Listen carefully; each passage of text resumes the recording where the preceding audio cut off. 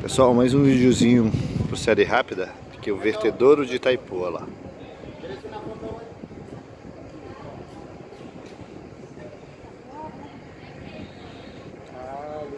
Esse aí é o Ulisses, chegou agora. Lá a barragem da usina.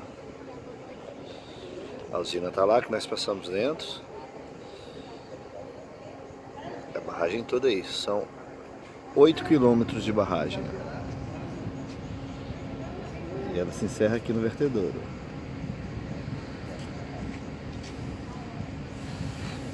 Estamos na época de do, que era para o vertedouro estar tá aberto, mas falta d'água e está fechado. Isso aqui é um espetáculo à parte.